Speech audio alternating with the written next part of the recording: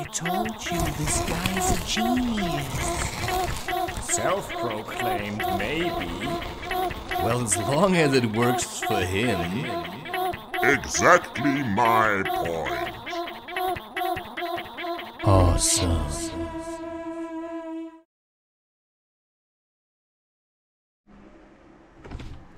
Ta-da! Hey, if my YouTube channel still exists, know, I know you shouldn't project bad things onto your life by speaking about them. But I feel like, no, I'm just being honest. And I'm trying to be modest, but it's hard because I have a lot of qualities. This is a pot. This is a wooden thing. This is coconut fat. I'm running out of oil. That to me is one of the worst things in the world. Well, we're gonna see. Alright. I have my phone completely turned off. This is leek. I'm making cauliflower soup. This is not really fresh. It was saved from the supermarket. Like this, I chucked out. No. I'm just gonna make this fairly quick. You see, I cut this because I'm gonna blend it. If I would have coconut cream, you know, if you've got money, you can do this with coconut cream. You can use regular cream if you want. I prefer coconut cream because it's vegetarian. Now, yeah, I didn't rinse it properly because leek often has sand, bits of sand. Because I already don't feel like cooking. And I don't feel like recording it either. And that's what happens if you're being rejected too often. You just say, nah. Alright, let's just try to make this a great soup. Um,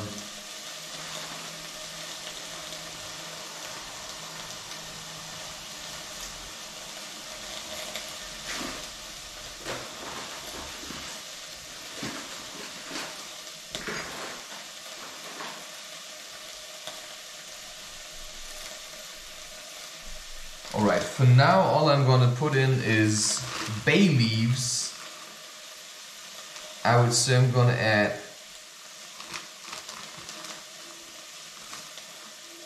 one big one and one medium sized one. At least that's what I think the sizes are.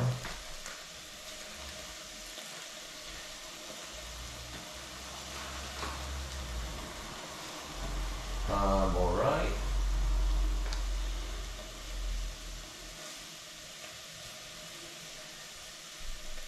I have no pepper, which is alright. I will use, uh, add cumin later, but you won't see that. Now this is just to get you going. You know, I'm not overly concerned about amounts. Right, what you probably have to do is just fry this in fat until it starts getting a little bit brown. You can could add a normal onion. You can even add a few potatoes.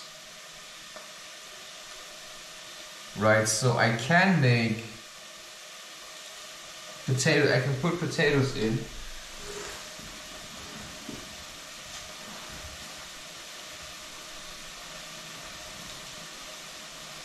Or I can bake potatoes in the oven.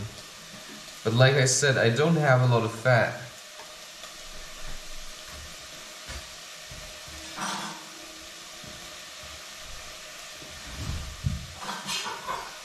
Which means that if I bake potatoes in the oven without fat, it's gonna be terrible.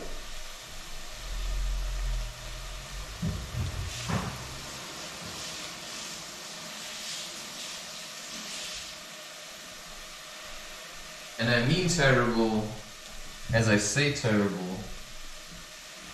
Because I usually mean what I say.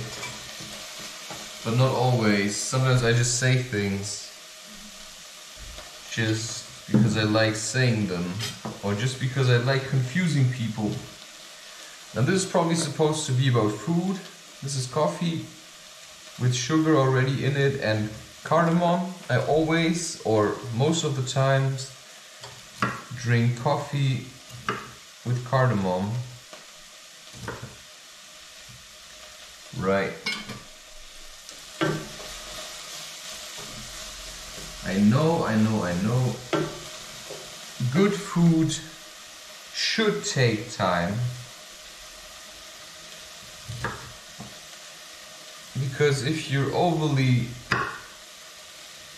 if you're too fast paced, no, I just wanted to rush this because I think everything else is more important. But what I realize, I'm lacking energy, and the only way I can get energy is by yeah. How do I get energy?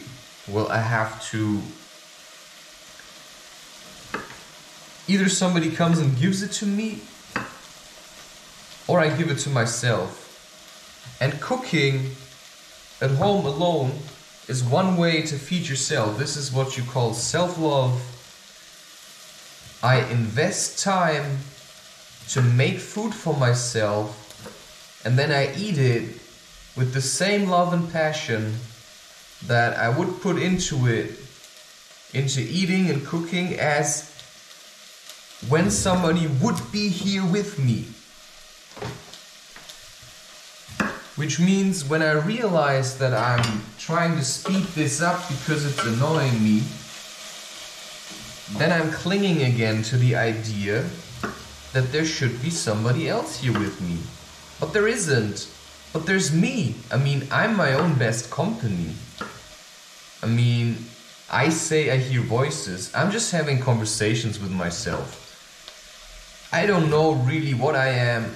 You know, I have a lot of depth. You know, I'm the tallest mountain I ever found. And maybe in terms of in terms of physical height, you know, I use the whole thing. I also don't peel it. You know, I'm not concerned. If I would do this for others, I would probably peel it. But why bother? At the moment, you see, that's now, for me, you know, I'm not that picky. Some people are really picky. And there's nothing more annoying than a picky eater. Yeah, I'm just gonna put it all into the pot already. Now this was, you know, I'm either going to wait until, uh, oh yeah, it's actually, is it cauliflower? Is it broccoli? Wait. It's broccoli. I'm not sure what I said. Maybe I said cauliflower. But I'm making broccoli soup. I mean, this is the same, but with cauliflower I probably would use different spices, but cumin works for both of them. With cauliflower soup you could add curry. You know, you also have to think a bit about color, because this is green. You know, I wouldn't necessarily add curry because the color would look a bit like that. So, you know, to me, eating is also about aesthetics. So I pay attention, like, I would not take a salad with mayonnaise and turn it into a soup. I mean, I mean, if you use mayonnaise, you can't, I've tried it, you cannot freeze it. So I'm often wondering if I want to make mayonnaise for myself and keep it good for a long time, I actually don't know how that's supposed to work. You know, how do they do it? How do they do it, the factory produce? You know, do they just put so much stuff into that so that it stays good? Do they pack it under vacuum? Um, you know, I don't know. But even mayonnaise that you've opened in a jar, it still tastes edible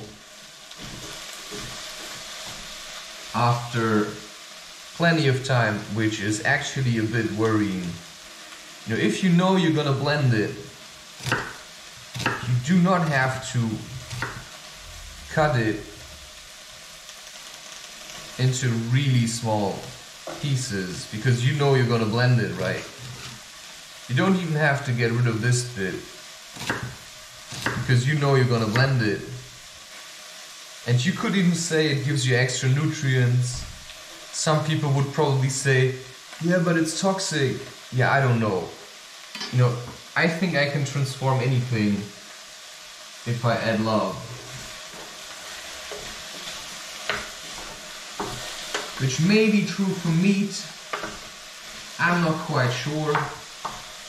What I don't like about meat is not just the way it's being produced, it's also, yeah, it's mainly the way it's being produced.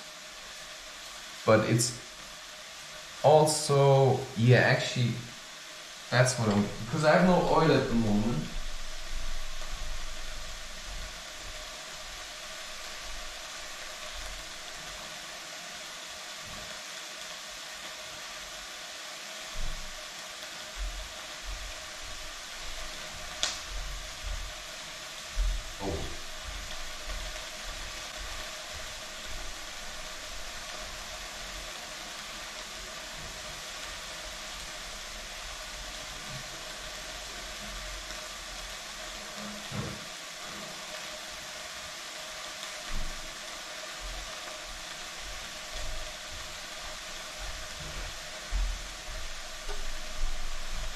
But I do have the fluid of um, beans that I used for another meal.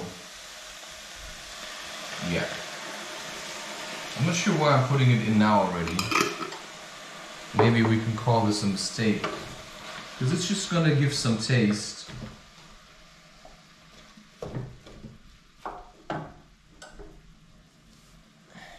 Alright. Now this one I'm just going to give it a quick rinse.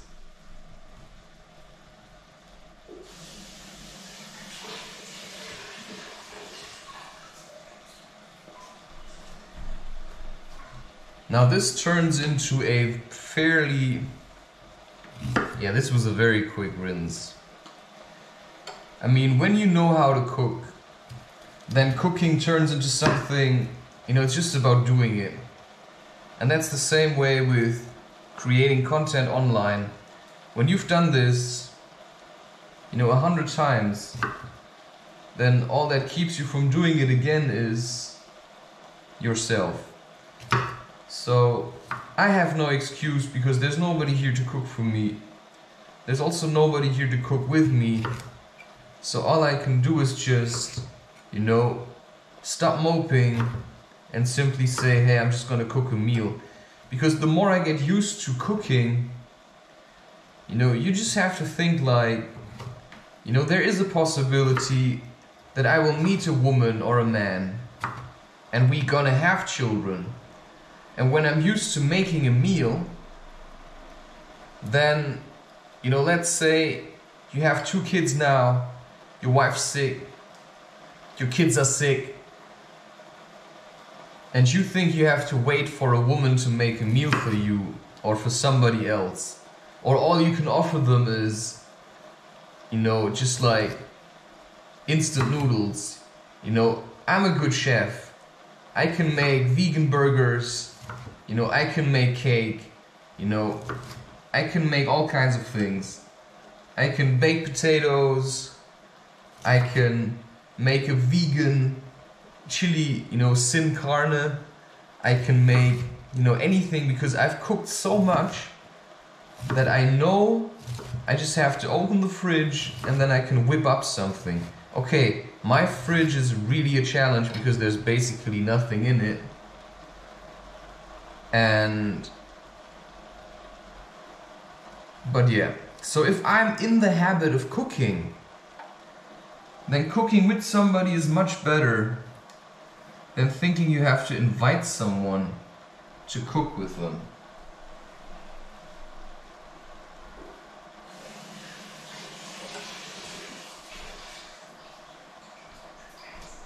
And there's a double meaning to that, not really, but a deeper meaning because let's say you want to invite a woman for dinner and you don't actually cook yourself because you feel like there should be a woman to cook for and you just invite her basically to have sex, then it's dishonest and she can feel it. But if you cook anyway for yourself, you know, you can basically invite anyone because to you it makes no difference. But if you have the feeling there's somebody that you could cook for, yeah, then why not? I mean, if you say, hey, yesterday I made this meal, oh wow, he's actually cooking for himself, you know, and maybe somebody says, hey, maybe we can cook together one time. That actually never happened to me.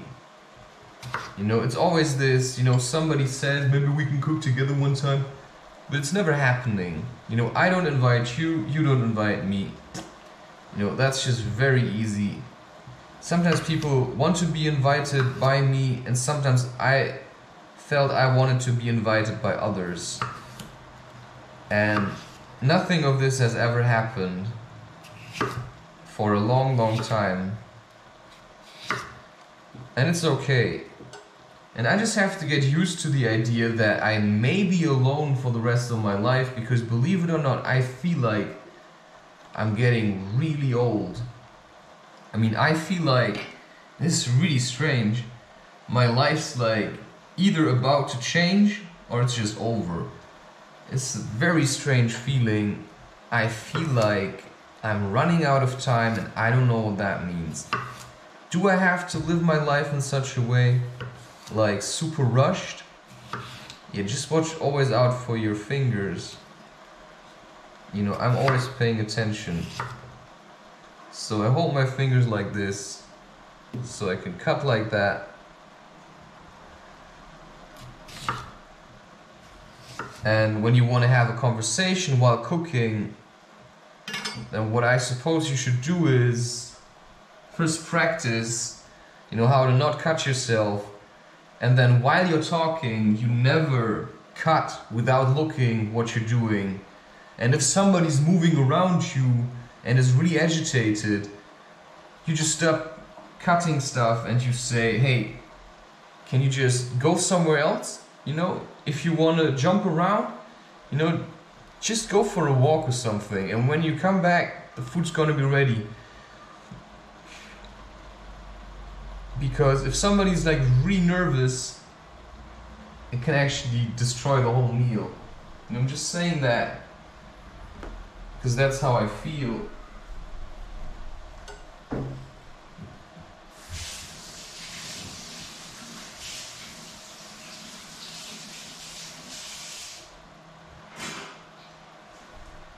I mean, I've been working with people in the kitchen and they wanted my attention all the time. And when they didn't get it, you know, they felt really insecure. And the way I'm cooking is, you know, if I start cooking, I'm gone. And, you know, I like cooking, so I don't have to stand around and talk to you, you know, because if I'm cooking, then I'm cooking, and then I don't have to have a conversation with you. And because to me, cooking is also meditation, which is why, in a way, I'm reluctant, but I can keep meditating while I'm talking. You know, I can make anything a meditative practice.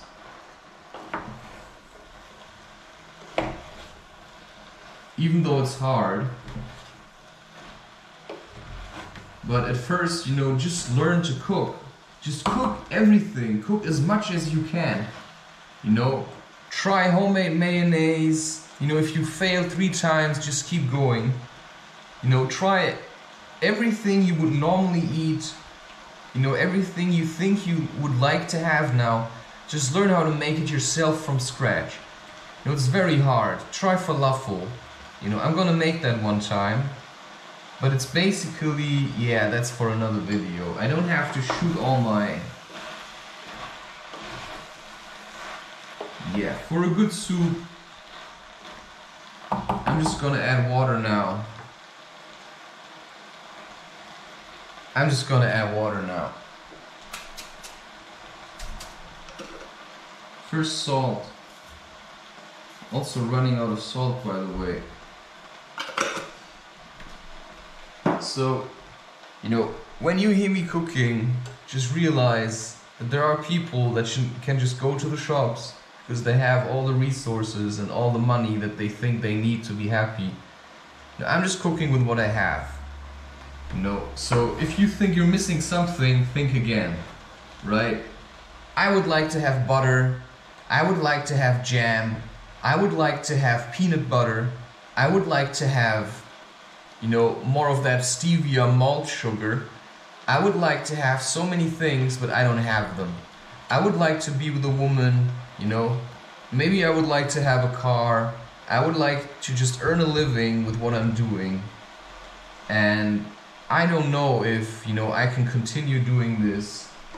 I don't know if I will be able to earn money with selling books and doing YouTube. I just live like I can. And you can call that being stupid. You can call that having faith. You know, I stayed up basically the whole night. I worked on a book, I rendered videos, I played Crash Bandicoot. You know, I would like to have lots of beer here so I can just forget all the shit that I'm missing. But I don't do any of these things. You know, I just suck it up. I say, hey, what's next? You know, that's my mentality for a long time now. I just say, what's next? I said once to a woman, you know, I'm not gonna run after women anymore. And she was shitting her pants over it.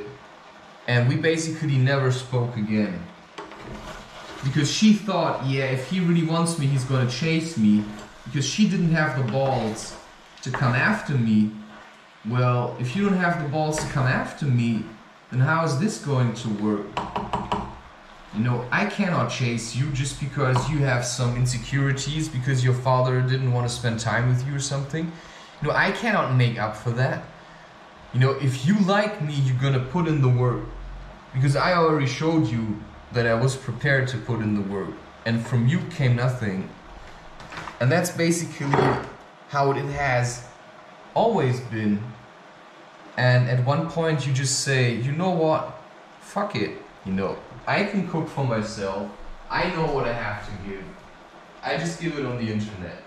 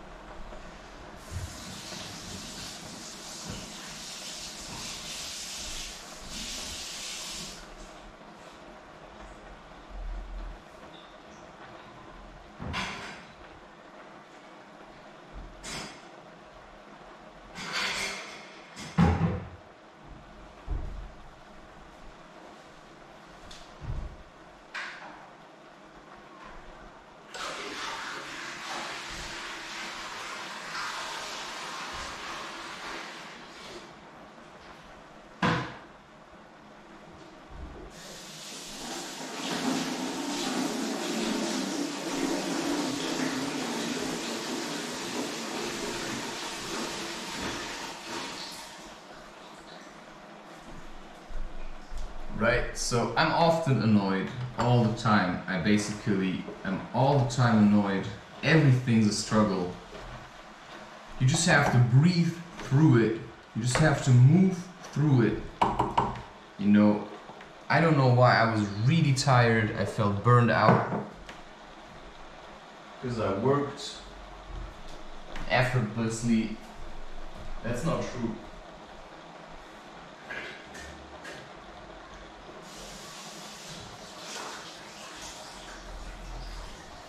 Because I never work without effort. You know, there's always strain. You know, when you're working, you know, it's always hard in some way. And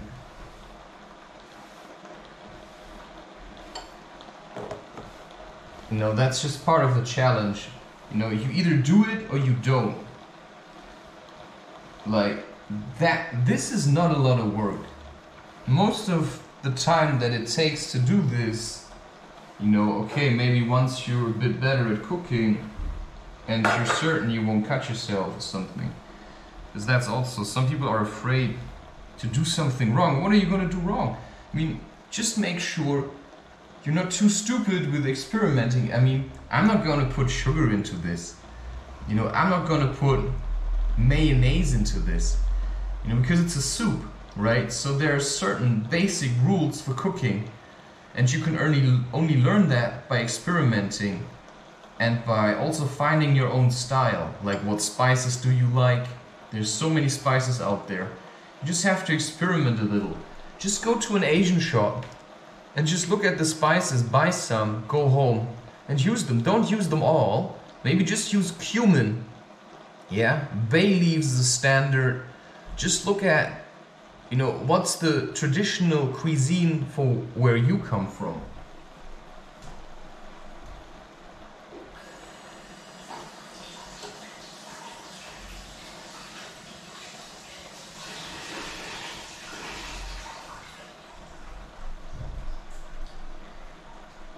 Know, I'm not perfect.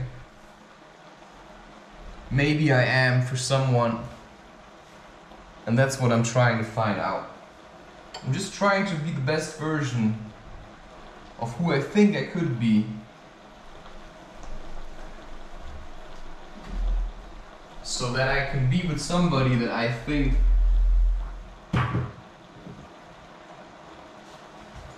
is open for that. I mean, I've had women courtshipping me, but I always said, you know, if you want something, you have to go the extra mile.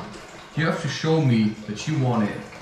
Because, you know, I already know what I can do. I already know it. If you don't know what you can do, then we will have nothing to say to each other because sex is just gonna be boring. This is cumin now.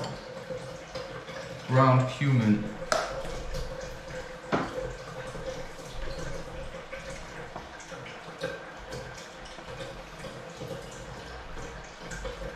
I'm just gonna let the water run. This is something you use for making coffee, but I'm gonna use that for another video just because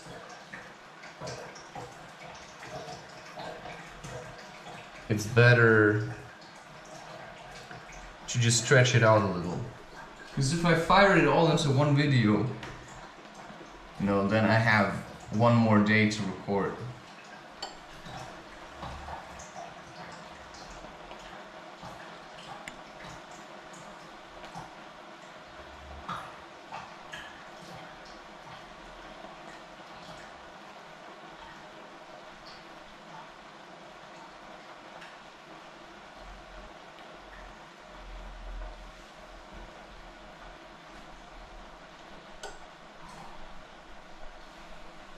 Yeah. That smells good. Spices give taste. They give eteric, et, eterical oils. That's the word.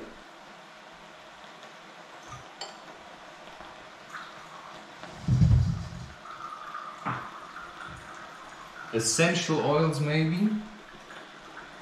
Alright, now that's filtered water.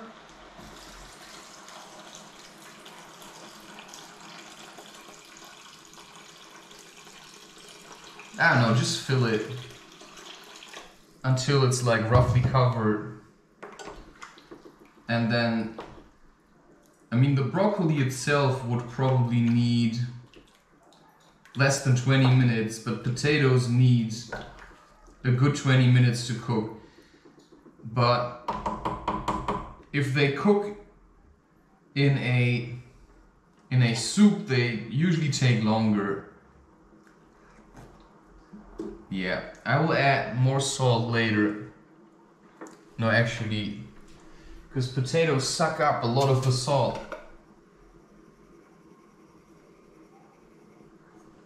You know, you don't want to oversalt it. Well, what you got, you got. So,